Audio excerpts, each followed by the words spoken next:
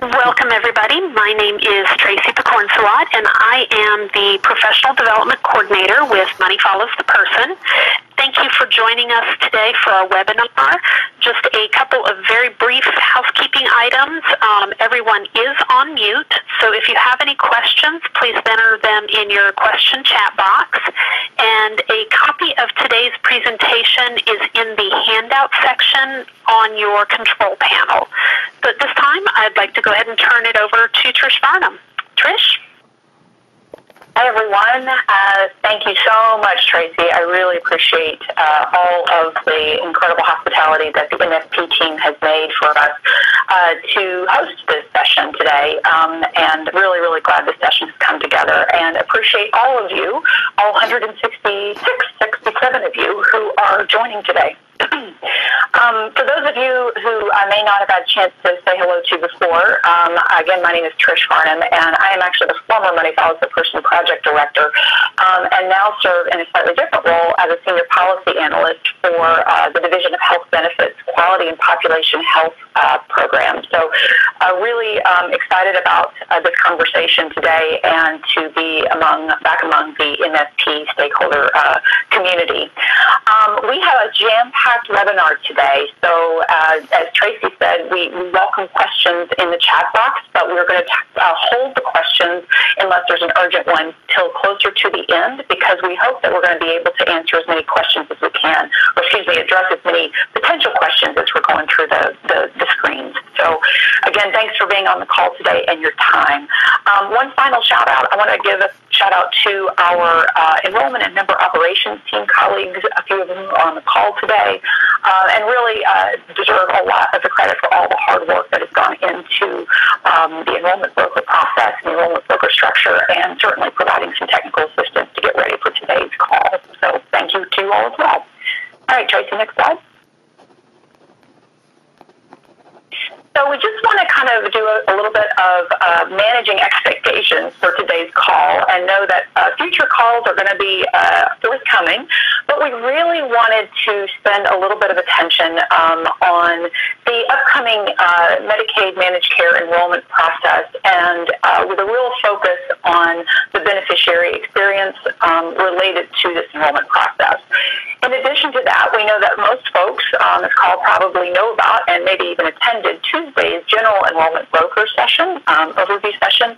We wanted to do a follow-up webinar for some specific areas for our beneficiaries who are older or have disabilities. So our long-term services and supports community, our aging and disability community, um, folks that really, uh, really rely not just on Medicaid for their health care, but in many ways uh, to live a full community engaged life.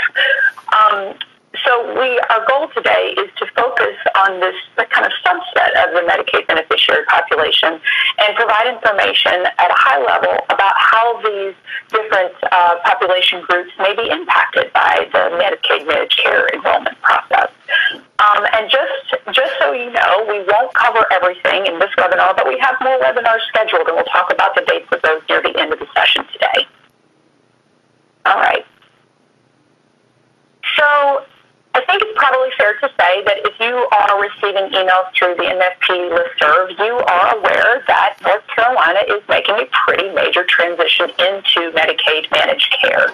So we're going to spend a little bit of time talking about that, but that's not going to be uh, that's not going to be the focus of our conversation. We're going to kind of assume that people know that that's happening, and then we'll move into some of the the more uh, particular particular details. Um, we just want to start this webinar, though, by reassuring and saying that in this Medicaid managed care design effort, the department has consistently been and remains committed to really paying attention to the beneficiary experience through this entire process and has established various uh, additional safeguards for some of our most vulnerable populations, including our long-term services and supports community. So it's really important to know that we as a department are really invested in getting this right uh, for our LTSS community. And uh, we'll, again, uh, we just wanted to re, re-emphasize that investment and that commitment today. So that said, we know there's a lot of information out there, and there's a lot of terms out there, and some of the terms make sense, and some of them maybe don't aren't quite as clear. And so we know that in order for us to have a really effective conversation today and a really effective training today, we need to make sure there are some clear understandings of some really important terms. So Tracy, you can go to the next slide. So there's lots of terms out there, but we're going to focus on three specific ones right now. And those are the three that are listed on the slide, um, on the left side. So you may have started hearing a term called Medicaid Direct, or North Carolina Medicaid Direct. And you may be wondering, what the heck is that? It is a newly branded name for our current Medicaid program. So when you hear about Medicaid Direct, it's trying to draw a distinction between our program as it exists today and the new options that will become available starting in November with our new uh, managed care health plan. So when you talk about Medicaid Direct, we're talking fee for service plus the services that are covered by our LME MCOs. Um, and also we're talking about PACE. Sometimes that gets missed in some of the general material. It's important to know that PACE, uh, for those of you on the calls who use PACE, PACE is here. It's not going anywhere. It stays and um, it's often kind of wrapped under the umbrella or under the umbrella of the Medicaid Direct term. Um, just to underscore that one more time, when we talk about Medicaid Direct, it's the system that exists now. Okay? The next term that's going to be important to understand is the, is the North Carolina Medicaid Managed Care term. And again, you'll see that in various forms. You've probably seen it a lot already. And the term is used to reference the five prepaid health plans, or sometimes called PHPs, or health plans, or sometimes the whole group is called the standard plan.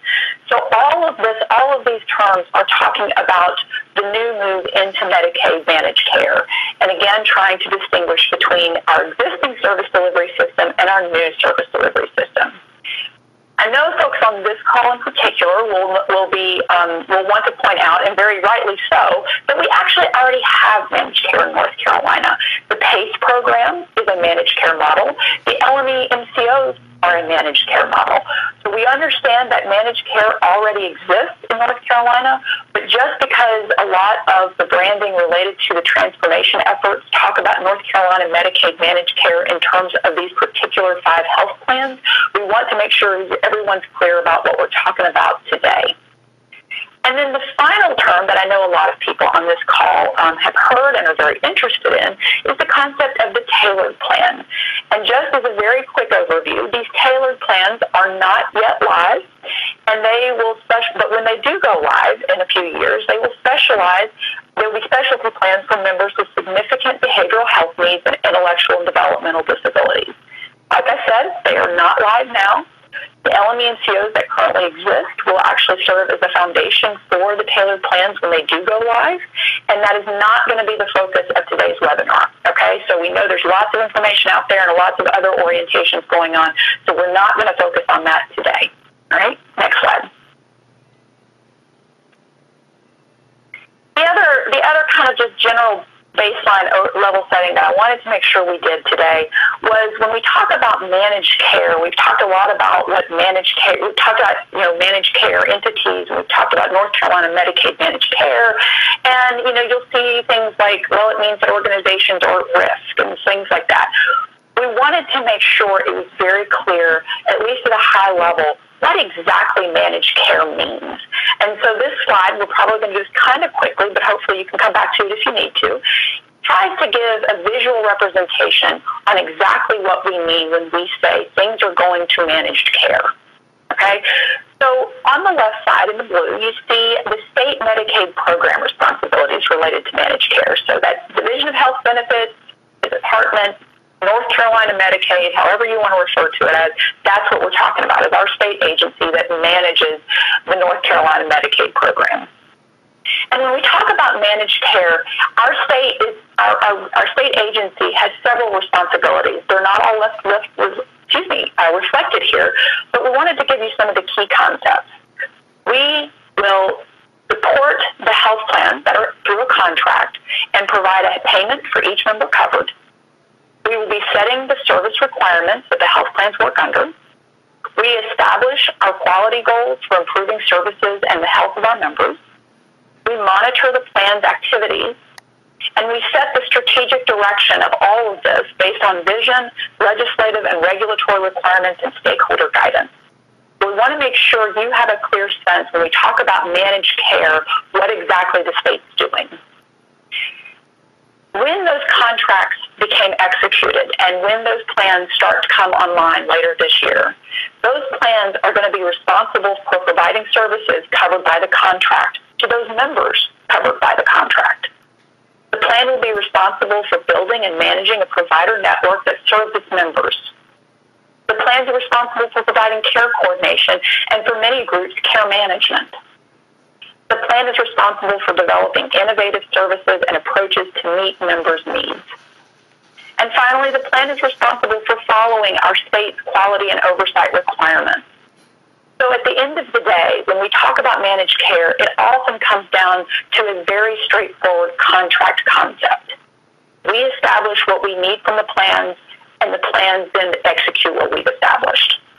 Okay, so that's probably a little oversimplified um, and, and perhaps probably old news for people on this call, but we just wanted to make sure everybody had a clear sense of that. Okay, moving forward. So again, as you know, or, likely know, earlier this year, the North, North Carolina uh, Department of Health and Human Services had a pretty big uh, announcement to make when the department uh, released its announcement that we are going to be contracting with several health plans that are identified here. So you probably started hearing these terms, I mean, hearing these uh, uh, proper names of these health plans. But just to reiterate, we have now contracted with WellCare, United Healthcare, Healthy Blue, which is a, a, a, an extension of Blue Cross Blue Shield, AmeriHealth Caritas, and then we have one uh, entity that's called a provider-led entity, which is called Carolina Complete Health. Forgive me, I want to disregard uh, the October 14th, 2019 date at the bottom of that slide. That's a little, um, that's not accurate anymore, so we just want to make sure to, uh, to strike that through, and we'll make sure that we uh, delete that prior to uh, posting this webinar online.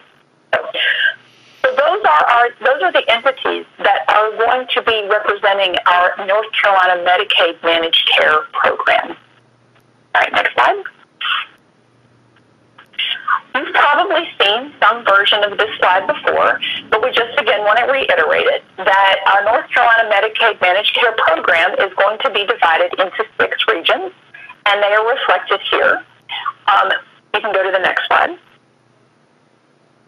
As you all probably also know, we are going to be launching managed care in phases. So the first phase will be regions two and four counties, and the the projected launch date is November 1st, 2019. So if you live in one of these counties or work in one of these counties, this presentation is going to focus on your timelines. Okay? Next slide. As you can imagine, we also have a region or phase two to cover the rest of the regions. And those regions are reflected in green on this slide. And the launch date for these regions is February 1st, 2020. Okay, so we may not be focusing on your exact dates right now, but just know that we our intention is to do this a similar webinar later this fall when that date when those dates become more relevant in that region. Okay. So you've probably seen this slide before as well. If you were on the Tuesday slide uh, or Tuesday session, I know you did. Um, and this release, this is a diagram that reflects the timing of the enrollment process for phase one regions. So again, if you're in one of those regions, two and four, four, that are going to start, that are going to launch in November, this is the anticipated and projected timing of all the events that are going to lead up to that point. Okay? The reason we are having this call today is the first part of this timeline. And you'll see that the June 28th date is, is officially marked on this timeline, and that's today because over the next several weeks, the enrollment broker process is really going to become active. And we want to make sure you all have at least some high level insight on what may happen over the next several weeks so that you know what's coming into your mailbox or coming into your beneficiary's mailbox and that you know a little bit about the kind of letters they may receive and you may know a little bit about what their enrollment kind of trajectory may be. So when we talk about letters in this presentation, it's these letters we're talking about. It probably would have actually been a better term to use packets because it's actually going to be broader than just a letter. But it, the packets will include a letter that we're going to be talking about today. These letters are going to start being mailed in the next few weeks for regions two and for people in regions two and four. It's important to know, especially in our aging and disability community, a lot of people will not receive one. Okay? So it's really important to clarify that. All right, next slide. So we know with all of the conversations underway and all of the activities underway, people at the end of the day really just want to focus on how does all of this impact me personally, right? Like, what does this mean for me? And all of these slides are going to come from the beneficiary's perspective. So we know that there are lots of questions from lots of other groups too related to providers and perhaps other stakeholders. We know that you all care about these questions too. And we hope that these slides give you the information you need to help advise or help guide your, your beneficiary or your, your um, the people who use your services. But the framing of these questions are always going to be from the beneficiary's perspective. Okay? So we know that in the aging and disability community, actually, if you can go back one more, thing. If in the aging and disability community, there's going to be lots of different people who have slightly different trajectories into managed care. Okay, and we're gonna we're gonna try to address all of them today, or at least at a high level. So we're going to try to answer the question of if I receive Medicaid and Medicare, how does this impact me? If I receive CAP DA, CAP C, or PACE, if I am on the CAP DA or CAP C waiting list, if I'm in a nursing facility, if I have a Medicaid deductible, if I use services through an LME MCO. Okay, so next slide. We also know that it's going to be really important to say, well, what if I'm not in any of those groups? And then finally, what if people aren't sure about which groups are in? Next slide. We're going to do our best to give at least next steps, these high level next steps for all these groups that we've just talked about. That's our goal today. Okay, next slide. So, because uh, because I'm a bureaucrat, I need to make sure that everybody is clear on a couple of important qualifiers related to within this slide. These slides, okay? First of all, we're giving high level a general sense.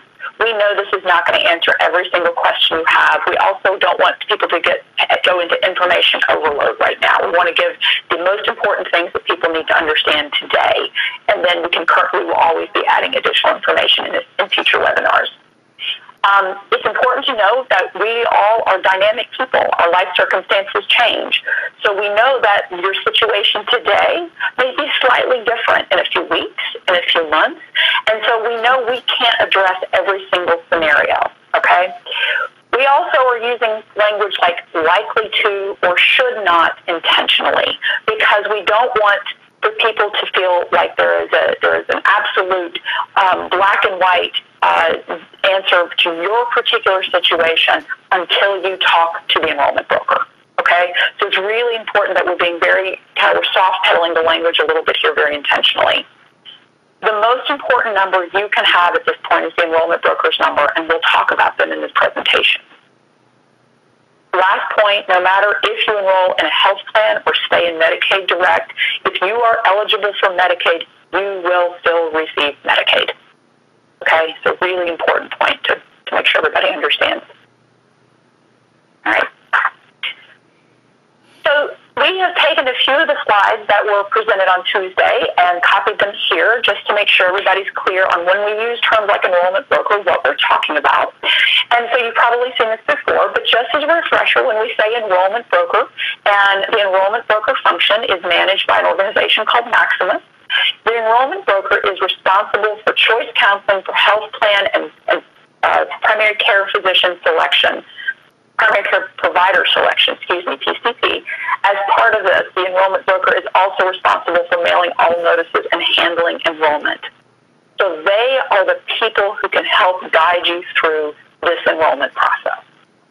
All right? Next. Like the slide earlier just said, their role is to help people understand what options exist, what different options exist, whether they're going to be enrolling, so what options exist among the health plans in their region, and what options exist if perhaps they are not going to be enrolling anytime soon. So it's important to know that that choice counseling function is really, really critical uh, to their function. Next slide. So we are now going to start going into each of those subgroups that I mentioned earlier and giving, again, high level guidance on where uh, we anticipate things will, uh, the next steps for these particular individuals. Okay? So let's start with people who receive Medicaid and Medicare. So a lot of people in our aging and disability community fall into this category. They are often called dually eligible or the dual. It's really important to know by legislation you are not enrolling in a new med- in, in, excuse me in a health plan right now. You are staying in NC Medicaid Direct. You don't have to do anything. You should not be getting a letter. Okay? Next slide. Next big group. If you use CAPDA, CAPC, or PACE, if you are actually enrolled in the CAPDA program, the CAP for Children program, or the program for all-inclusive care for the elderly, you are staying with North Carolina Medicaid Direct. You will not be enrolling in a new Medicaid health plan right now. You don't have to do anything. Importantly, PACE members uh, will, will, not, will not be choosing a new health plan as well because PACE is already a managed care program. Okay? You should not, if you were in any of these groups, you should not receive a letter. Okay? If you are in a nursing facility, this gets a little bit more nuanced okay? But it's important to know and remember that if you have Medicare and Medicaid, you are not enrolling in a new health plan, regardless of anything else I say on this page. Bullet reiterates that Medicaid only nursing facility residents who are in the facility less than 90 days may be getting a letter and have the opportunity to enroll with a health plan. So if you're Medicaid only, you are not a dual, and you're in the nursing facility for a short-term stay, perhaps a post-acute rehab stay, but you're in there for less than 90 days, you may be getting a letter. The third bullet is the opposite of that. If you receive Medicaid, only Medicaid, and are in the facility for more than 90 days, you will not be likely enrolling in a health plan anytime soon, and you will stay with the current Medicaid program. Okay. Next slide. If you have Medicaid only and are on the waiting list for CAPDA or the CAPC waiver, okay, and I know the CAPC doesn't really have much of a waiting list right now, but if, if it existed, right, here's what's important to know. If you have like I keep saying, if you have Medicare and Medicaid, you are not enrolling in a new health plan. Okay? So if you're on the waiting list and you receive Medicaid and Medicare, you are not enrolling in a new health plan. Okay. The next bullet is a little bit more nuanced. If you only have Medicaid, or you don't have Medicare, and are on the waiting list, you may be picking a new health plan soon if you're not otherwise excluded. So let me stop and explain that just a bit more. If a member is on the CAPDA waiting list and also happens to be in a nursing facility and has been there for over 90 days, right, they are going to be excluded from enrolling in a health plan because they've been in the facility for longer than 90 days. But if you're in your community and you don't fall into any of the other categories we're talking about that excludes you from enrolling, you may get a letter saying, you're going to be enrolling in managed care, and you know, here's the next steps. Next slide. The concept of the Medicaid deductible is a really uh, big one in our aging and disability community. So we hope that this is helpful for people who may not have otherwise known this or it may not have come to the surface in some of the other presentations. If you have a Medicaid deductible, or sometimes called a spend down, you will not be enrolling in a new health plan right now. You will not be enrolling in a new health plan, and you should not be receiving a letter. Okay. These next few slides there's the, the green coloring is intentional. If you see a green person or green text or green box, just know that we're trying to reflect that you maybe are interested because you have received services from your local manager, your LME MCO. And we're going to provide contact information to all the LME MCOs at the end of this presentation. Um, but it's important to know that if you see green, you're probably um, paying attention and to this because you currently receive services from the LME MCO. To establish some very key, uh, some of the most straightforward criteria, because some of this gets a little, a little, a little twisty. If you are on the Innovations or TBI waiver, you are enrolled in it.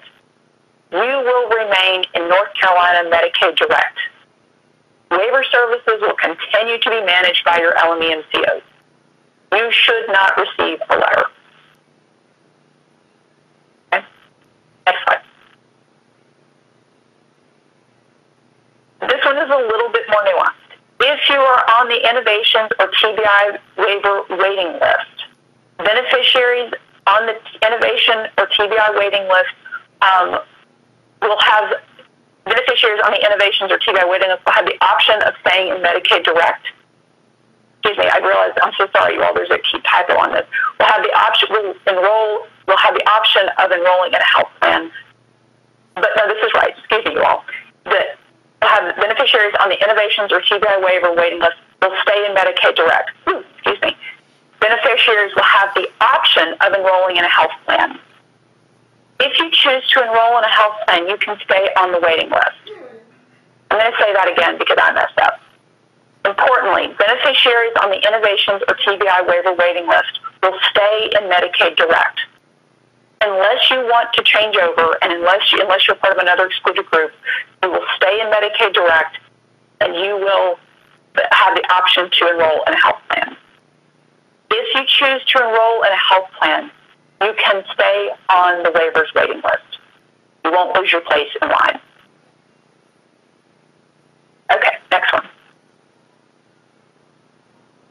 We know that there are lots of other LME MCO populations that have not been reflected in the slides before this, so we're trying to, to do some humble um, clarification uh, where we can without misstepping and saying something that's inaccurate.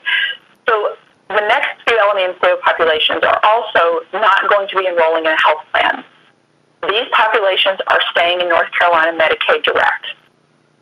TCLI participants, members with significant ID behavioral health or SUD service delivery needs, and we'll talk a little bit more about that in a minute, state developmental center and ICF residents, people without Medicaid who use LME MCO services, so we know that there are lots of folks who don't are not Medicaid eligible, and they receive services through state dollars through their LME MCOs, sometimes called IPRS funding.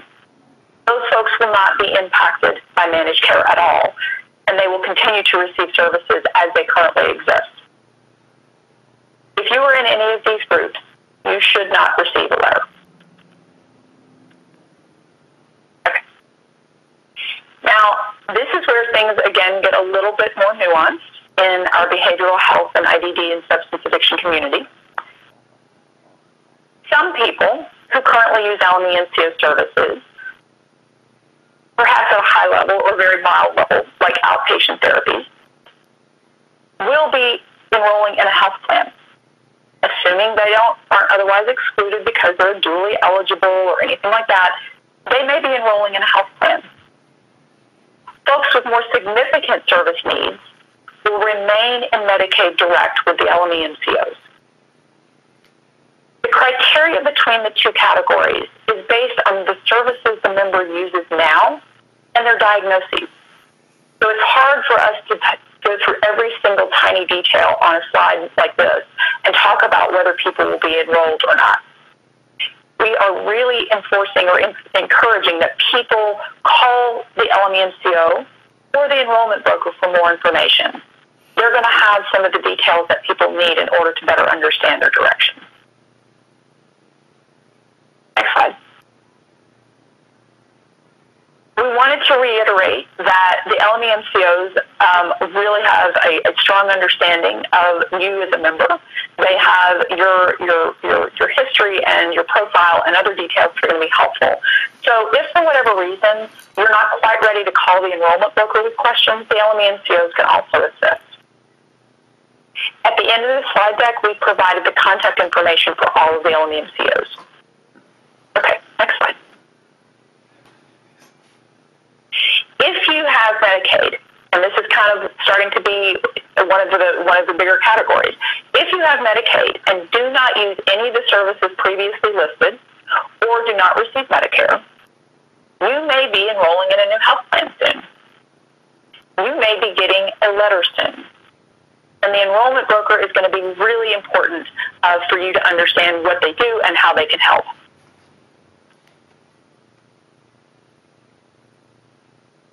We wanted to make a special note to PCS service users and folks who may be adult care home residents because we know we didn't touch on that population specifically, and there's a reason that it, it, the, the, the population is going to fall into a couple of different categories.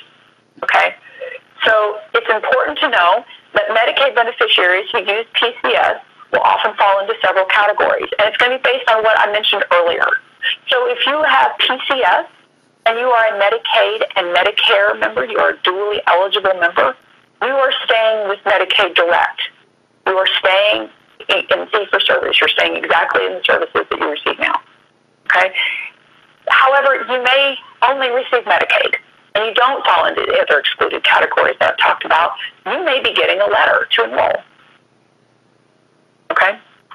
Importantly, PCS as a service is covered both in our current system and under the health plan.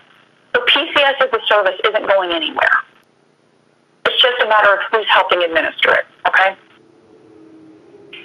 Importantly, special assistance Medicaid is included in both the Medicaid Direct and the North Carolina Medicaid Managed Care scope. So if you receive your Medicaid through your special assistance, you are all this is all of this still impacts you and all of this still is relevant to you. Some PCS users and adult home residents may enroll with a health plan, and others will stay in North Carolina Medicaid Direct. And like I've mentioned before, it depends on factors like if the person also receives Medicare or what other person, other services the person uses. If you're not clear, this is where the enrollment broker once again can help. Okay. So let's shift a little bit and talk about what exactly it means for those folks who may be enrolled in a health plan. Okay, so we've said in several er, areas that you will likely be enrolling in a health plan. You may get a letter saying that you are enrolling in a health plan. You may be going to the enrollment broker to pick a health plan. If that's your situation, when you get a letter or we otherwise find out that you'll be enrolling in a health plan, what does that mean? So it's important to know that based on the region, you're going to have you're going to have choices of different health plans to pick from, right? And there are several things that are staying the same about services in, uh, that are managed by a health plan. One is the Medicaid eligibility rules are not changing. If you're eligible for Medicaid under fee for service, under Medicaid Direct, you're going to remain eligible for Medicaid under the health plan. What else is staying the same? The service is covered. Okay? If you are moving to a health plan, the service package they provide is going to look exactly like what the state plan services are provided under fee for service. I want to make one type clarification on this though. This services covered slide, if you receive services through your LME MCO, that's a little different And that's where you're really going to want to understand what your eligibility category is, what services you receive through your LME MCO, and talk to people about what services may be available under both the LME MCO and what may or may not be available in the health plan. And again, the enrollment broker can help you understand that. The copays that exist will still exist in the health plans. And DSS remains your point of contact for Medicaid eligibility questions. Okay. Next slide. Some of the other benefits of being in a health plan, if you're one of the folks on this call who get a letter saying you're going to be enrolling in a health plan soon, it's important to understand the benefits of that, right? One, there's going to be a network of providers. Two, you can see your physician. There are no monthly premiums. There will be additional call lines available to assist you after hours, and they can help you with referrals, help coordinate referrals to other specialists. I wanted to add this next one um, because it's really important, and this one was actually not covered on Tuesday, but I think it's really important in this population. So if you go to the next slide. I want to talk a little bit about the care management, the care coordination care management benefit that health plans currently will be providing, or health plans will be providing. And I pulled this text from a stakeholder engagement effort that we all did years ago, five years ago now, when managed care was first coming onto into the discussion um, in the Medicaid space. And we as North Carolina long-term care aging and disability stakeholders were getting together to talk about what we wanted that to look like. And consistently, when people said, when we think about whole person care and coordinated care, it means that people and their families have strong, highly competent, consistent care managers who serve as a person's ally and follow the person through services and across the lifespan. I want to make sure that we just kind of revisit that vision because that, that is essentially what has been driving a lot of the managed care design work related to how this population is served. Next, next slide. And so we want to just spend one slide on so what does that mean to have access or you know expanded access to whole person care management. Importantly, not every member who enrolls in a health plan will receive care management. A lot of people don't need a care management and don't really benefit from it. There's no need for it.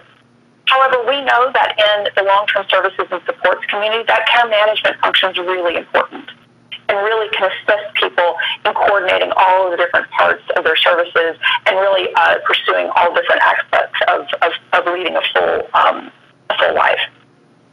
So we wanted to highlight a couple of the, of the details that will happen once the plans actually start providing services. And again, for the regions that we're talking about today, two and four, that will start in November. The plans are going to be doing expedited screening of support needs of all new enrollees who are older or have disabilities. They're going to come and they're going to talk and they're going to ask questions about how you're doing and what, what kind of supports do you need. And they're required by contract to do that quickly. And they will continue to do that as managed care continues to move, move forward. Importantly, LTSS members will receive care management. LTSS members will receive care management. The level of involvement of care management is probably going to vary based on the person's needs. So some people may have more intense care management than others, but it's really important to reiterate that if you receive an LTSS service, you will receive care management.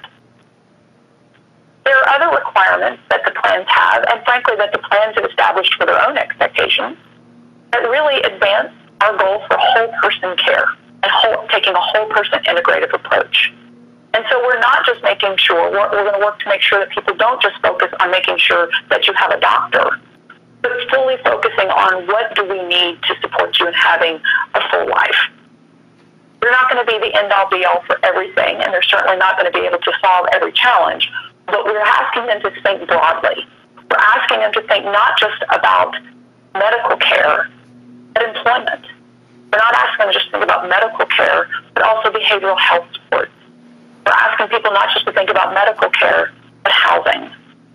So we're expanding the scope of what care managers are thinking about as they support their members.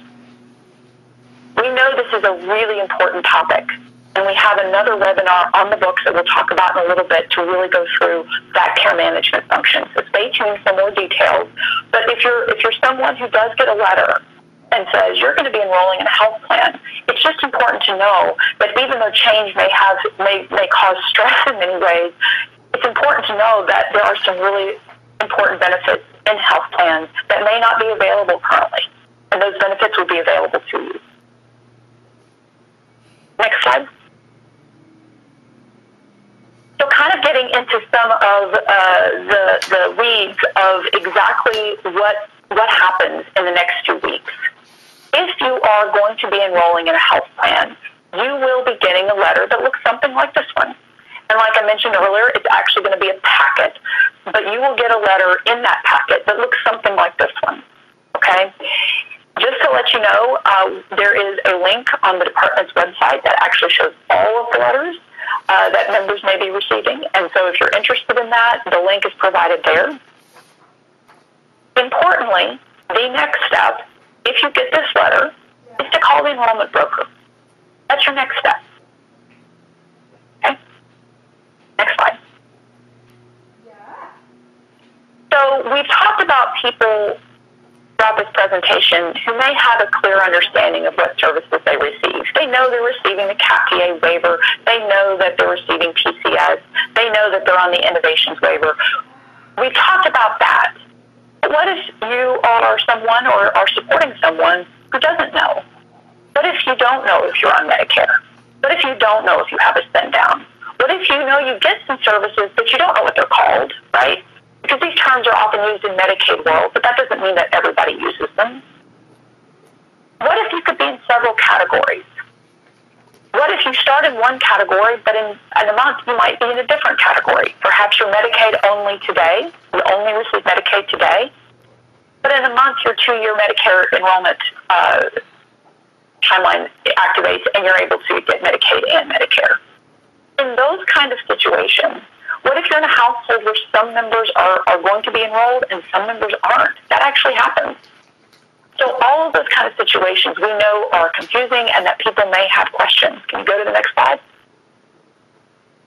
The next slide and the next step is for you to call the enrollment broker. Okay? If you are confused, if you're not clear, call the enrollment broker.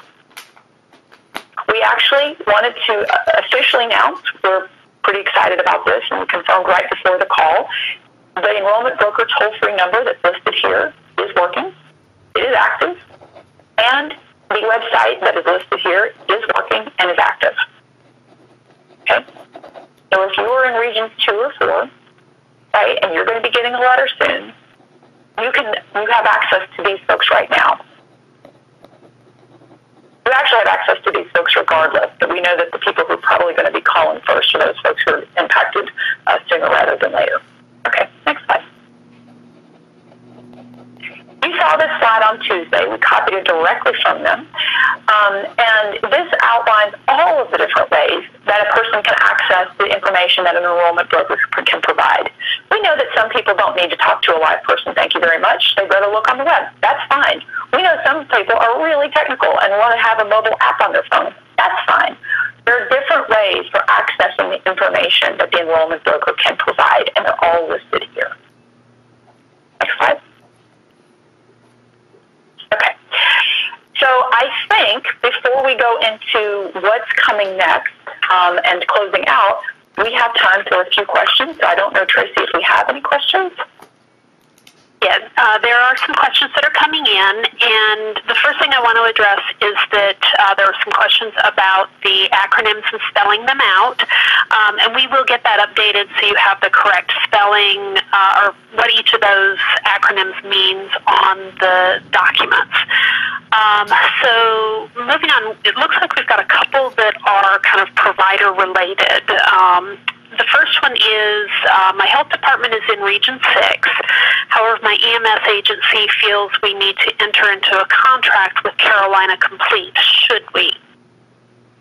It's a, it's a great question. Great question. You're absolutely right, Tracy. That is a provider-oriented question.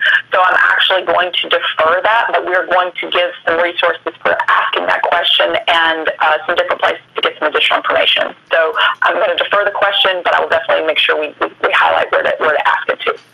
Question. Uh, the next one is also kind of provider related, um, so it probably has the same answer, but I'll read the question anyways. Um, I'm a provider who supports individuals who have innovations waiver, and I only bill one code that is only uh, covered under the innovations waiver. It's likely that all of my Medicaid clients will have tailored plans is it necessary for me to contract with the PHPs or will the MCO continue to manage the tailored plans? So I'm going to answer part of that question and then defer the rest of it. So it just is, I'll take it from the, the beneficiary perspective. Innovations waiver services will remain managed by the LME MCOs. Innovations waiver services will remain managed by the LME MCOs. Great. Um, and then there was just a note here uh, regarding that app that you were mentioning on the previous uh, slide.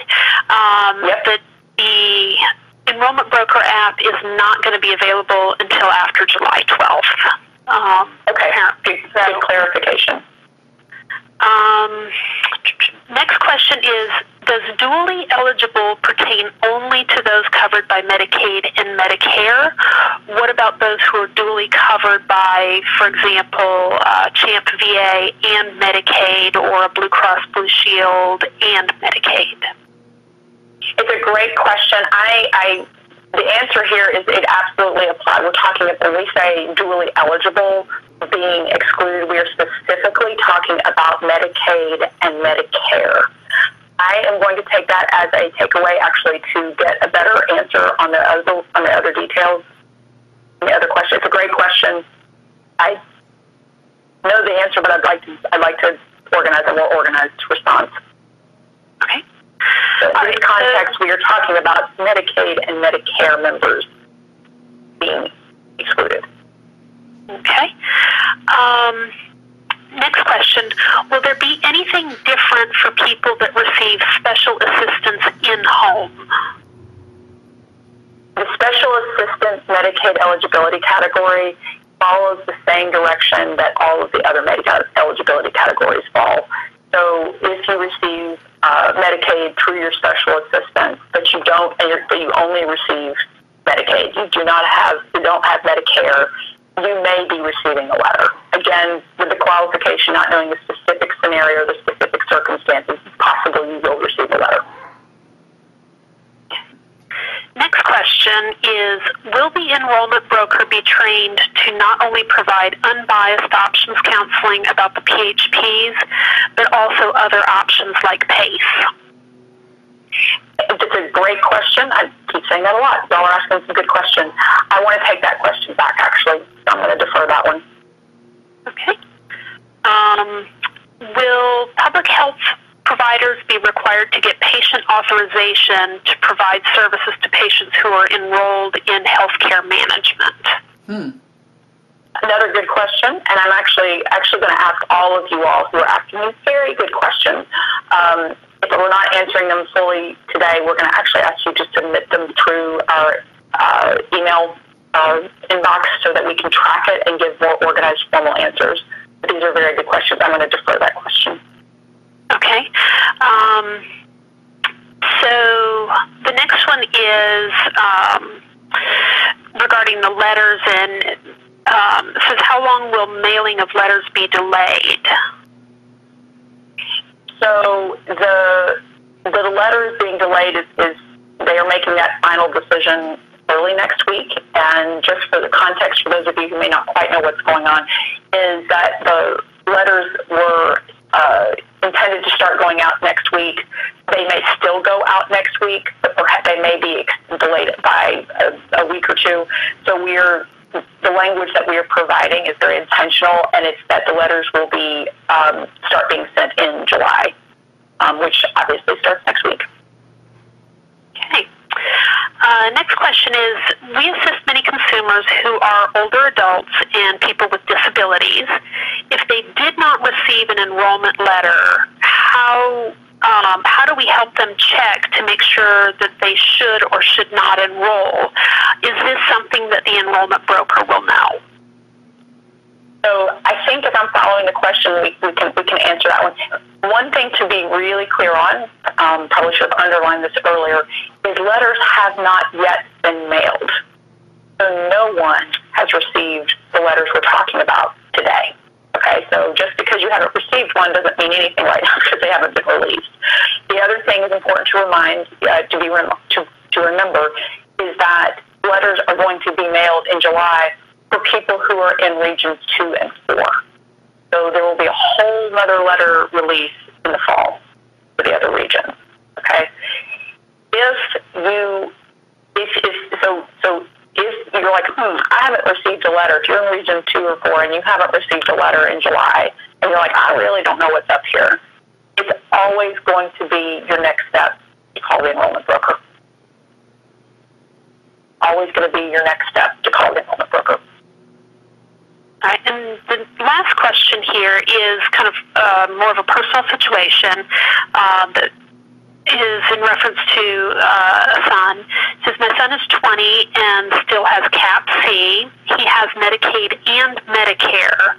Will he switch when he ages out? Um, he's on PDN as well, um, and he has managed care uh, through Medicare at this time. So that one sounds like it's a little bit of a complicated personal situation. Do you have any com- comments for that? It, it, it is. It, as long as everything that the, the, the, the question asker has is accurate, if, if the, the beneficiary receives Medicaid and Medicare, and because the beneficiary receives CAP for children for two reasons, the, the, that member will not be enrolling in a health plan.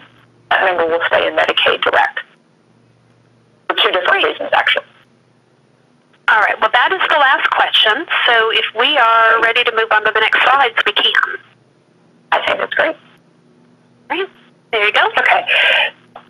So thank you all for asking the good questions. Um, what I'm going to actually ask those of you who, who submitted the questions that I was not able to answer or needed to defer, if you would please submit your question to this inbox.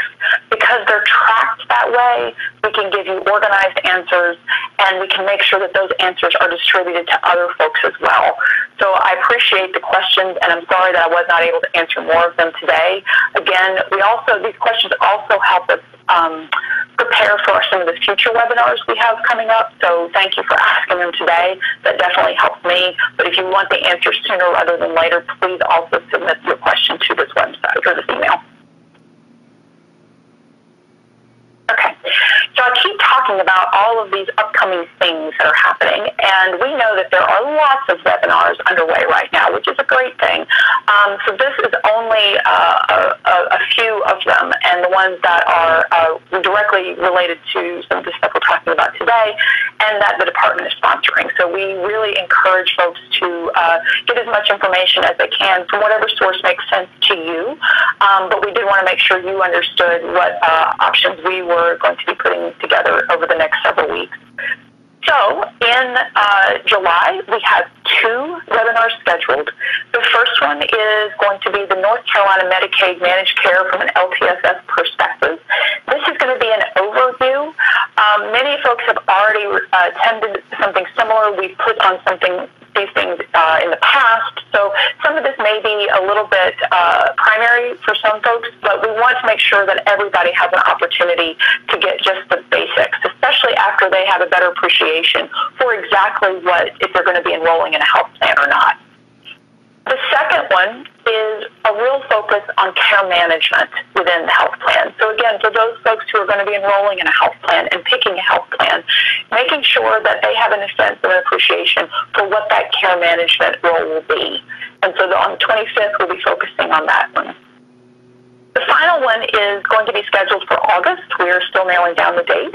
But this one is really going to be uh, much more provider focused.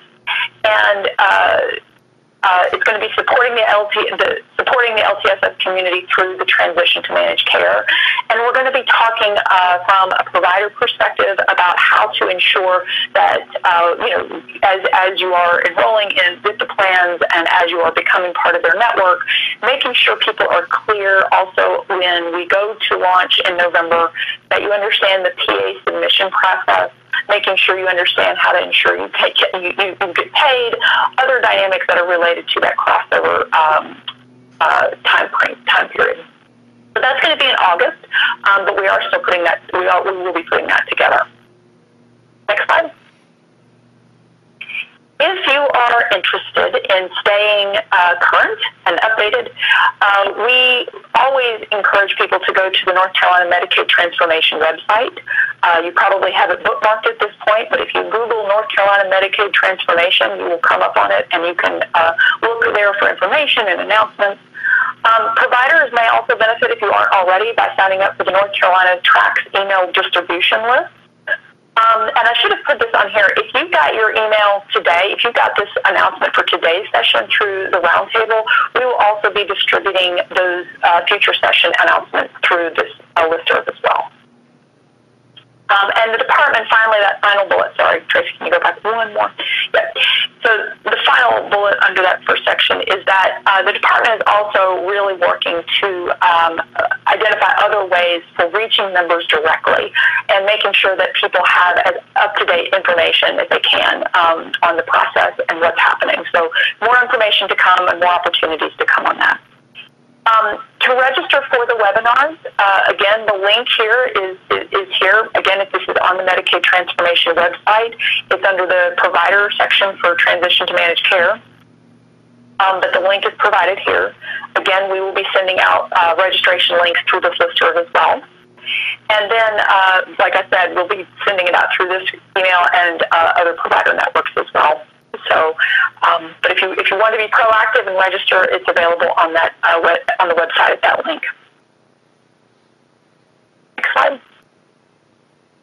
Okay, so today's key t- key takeaways, and if it sounds like I'm repeating myself, that's a good thing because I'm trying to. Um, importantly, whether you will be enrolling in North Carolina Medicaid managed care, whether you will be enrolling in a health plan, or whether you will be staying in Medicaid Direct, depends on a lot of things. That's probably become pretty clear today. If you are going to be enrolling or have the option to enroll in North Carolina Medicaid managed care, you will likely be getting a letter soon. Be on the lookout for a packet. For people in phase one counties, again, that region one, or excuse me, region two and region four, these letters will come in the next few weeks.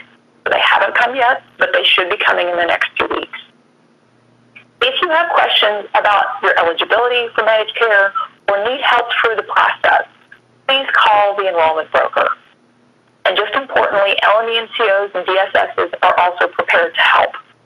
They may eventually transfer you to the enrollment broker, but if you feel more comfortable going to those channels first, that's absolutely okay.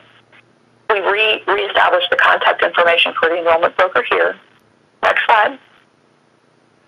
And just to make sure Nobody missed it.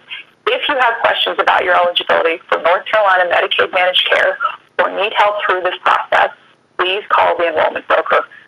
LME MCOs and DSSs are also prepared to help. And the enrollment broker details provided. I think we are finished. Um, just as a heads up, if you want to go to the next slide, we wanted to like alert you that in the slide deck you do have all the contact information for the different LME. So if you're not sure uh, how to access your LME you can look at the regional map we shared earlier and then look uh, for the, the, the, county that it's covered by, um, this, whatever LME covers your, your area. Tracy, if you don't mind going back to the thank you. Okay. You all, again, thank you. We hope this was helpful and uh, productive. Um, again, we know we didn't answer every question, and we really appreciate the questions that were asked because they will absolutely help us in informing future sessions as well. We are really looking forward to uh, the next several months and looking forward to having increased engagement about uh, managed care and the transition to managed care um, and the experiences of folks um, in the aging and disability community. So thank you for joining today. We hope you have a really good Friday and a great weekend. Thanks so much. Bye. Thank you. Bye.